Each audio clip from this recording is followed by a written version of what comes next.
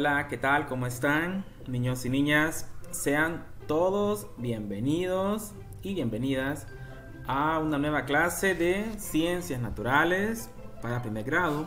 Y hoy vamos a trabajar este importante tema y es el de los recursos naturales. Comencemos. Les saluda el profesor Rigoberto Castillo.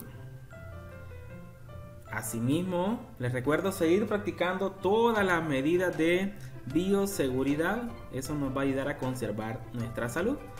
Como lo muestra la joven ahí, lavarse las manos constantemente utilizando, miren, agua y jabón. Asimismo, utilizar mascarilla, si eso, y van a andar fuera de casa, eso nos va a protegernos, cuidar nuestra salud. Bueno, comencemos entonces con el tema los recursos naturales. Para ello les voy a hacer esta pregunta. Este es un pequeño repaso. Dice ahí, ¿qué son los recursos naturales? Ahí tenemos las imágenes. Vamos a ver las imágenes. Miren que están ahí los dos paisajes. ¿Qué observamos en los paisajes? Muy bien. Ahí tenemos agua. Tenemos ahí una cascada. ¿Qué más observan? Correcto. Miren, aquí hay árboles y hay unos pequeñas hay unas pequeñas aves, hay algunos animales, unos pájaros y seguramente hay insectos, ahí pueden haber peces, además aquí hay arena, piedra, qué montón de recursos observamos en estas dos imágenes. Entonces, cuando hablamos de recursos naturales, nos referimos a los bienes materiales y a los servicios que proporciona la naturaleza sin alteración del ser humano. Esto no lo ha creado, no lo ha creado el hombre, claro que no. Esto está aquí, miren, es algo natural, el hombre no ha intervenido ahí, el oxígeno que ahí se respira, todo el paisaje verde, los árboles, claro, es nuestro deber conservar este ambiente, pero este ambiente es algo natural, miren, pero hay, recursos de los cuales el ser humano se beneficia. Vayan pensando ustedes, ¿qué nos sirve o qué, y qué nos beneficiamos nosotros de lo que puede haber en esta imagen o en esta imagen? Vayan pensando.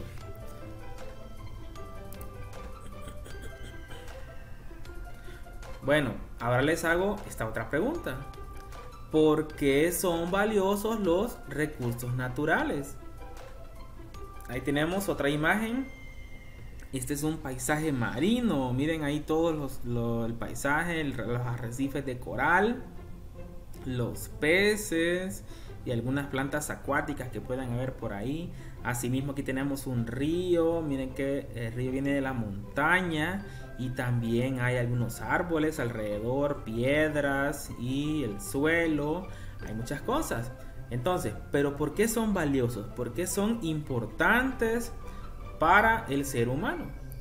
Fíjense que los recursos naturales son valiosos porque contribuyen al bienestar y desarrollo de manera directa, o sea, a nuestro bienestar, a, los seres humanos. ¿Por qué? Porque nos ayuda en materias primas. Recordemos que el agua, la madera, le sirve al ser humano para muchas cosas.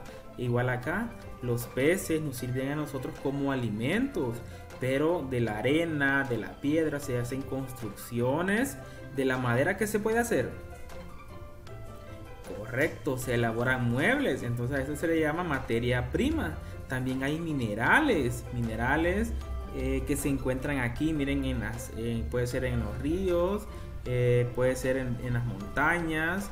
Asimismo puede ser un beneficio de manera indirecta, o sea que se le llama los servicios ecológicos para mantener la vida. ¿Por qué? Porque al tener este medio ambiente, este recurso natural de esta forma, ayuda a que el clima, a que tengamos una mejor, una mejor, un mejor clima, unas mejores estaciones en el año, si es un clima lluvioso, nos ayuda a los cultivos. Eh, el agua, son fuentes de agua que le sirven al ser humano. Entonces, son muchos los, los aportes que tienen los recursos naturales al ser humano. Ahí tenemos otros recursos naturales, otras imágenes. Observemos. Comencemos aquí arriba. Ahí tenemos, miren, árboles de pino, puede ser, puede ser roble o cualquier otro tipo de árbol. Árboles son recursos naturales que nos sirven a nosotros, puede ser en oxígeno, en cuidar las fuentes de agua, asimismo en la madera. En la madera que le sirve al ser humano, al carpintero, al constructor y a las demás personas que trabajan con madera. Asimismo aquí tenemos otro recurso natural importantísimo y es el agua. El agua, sin el agua no podemos vivir, ningún ser humano, ningún ser vivo puede vivir si no tiene este importante recurso natural. También tenemos el recurso natural, el suelo. Miren, aquí está un, agricultor, está ahí con su tractor, está trabajando la tierra porque ya va a sembrar. El, el recurso natural que usa es el suelo y ahí él trabaja con la siembra, luego cosecha y luego los alimentos los va a vender y ese es el consumo que nosotros tenemos. Aquí tenemos una imagen muy curiosa, miren, y es un ventilador y ese ventilador le está conectado a este juguetito, a este robot. Y es que un recurso también importante es el viento. El viento nos sirve, nos puede servir también para, eh, eh, para la energía, para generar energía eléctrica, como lo muestra aquí la imagen.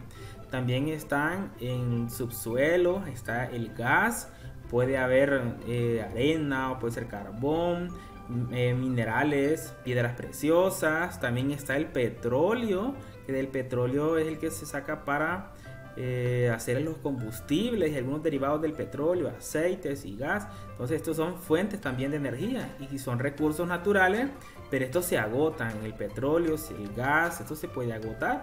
¿Y qué decir de los animales? También son un recurso natural muy importante tenemos, miren, unos animales que eh, nos ayudan, son animales de granja, porque a veces, miren, nos sirve de carne, o si es una vaca puede ser leche, eh, la gallina eh, nos, da, huevos, también los pollos, pollitos, entonces los animales también, ¿verdad?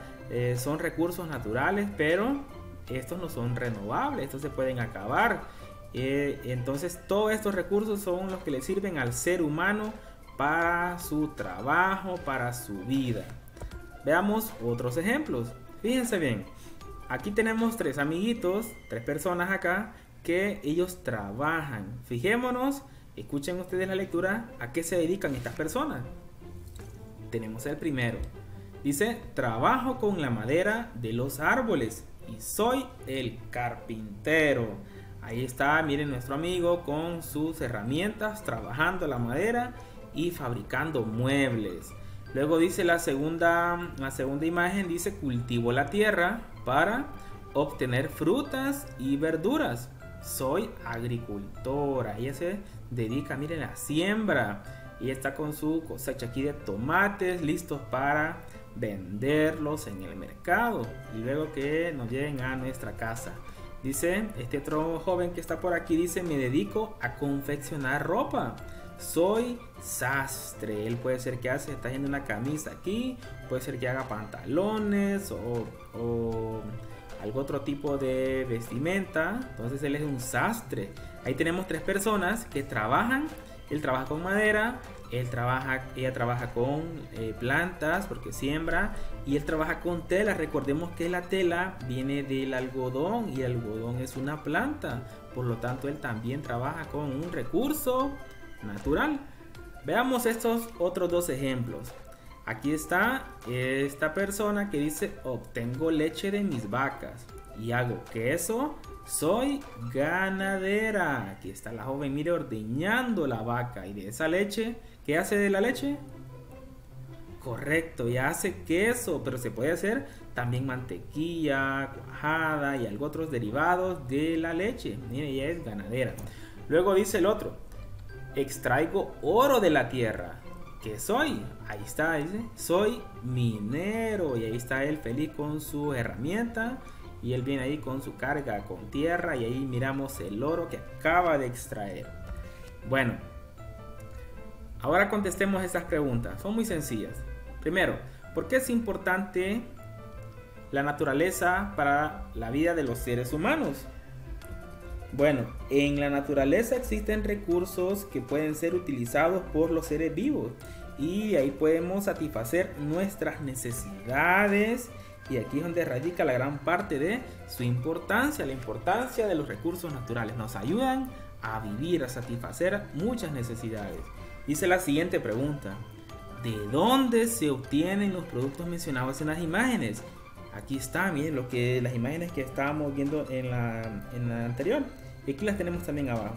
Estos productos las obtenemos de la naturaleza, los árboles, las plantas, la fibra para hacer el algodón, miren, la leche, los minerales, de la naturaleza se observan, se obtienen. ¿Qué uso se le da a la madera? Esa es la tercera pregunta. Bueno, de la madera podemos hacer variedad de muebles, mesas, sillas, también se pueden hacer ventanas, asimismo de la madera se puede hacer el papel, y el cartón que nos sirve para hacer los cuadernos y cajas. Miren qué importante es el uso que se le da a la madera. Luego tenemos la última pregunta, ¿qué brinda el suelo a los seres vivos? Pues bueno, recordemos que en el suelo están los nutrientes, el agua y minerales para las plantas. Asimismo, ahí en el suelo, en la tierrita, ahí viven muchos insectos, pequeños animales, bacterias y microorganismos. Hay muchos seres vivos que viven ahí en el suelo y que también ayudan a fertilizar, a que sea la tierra muy fértil.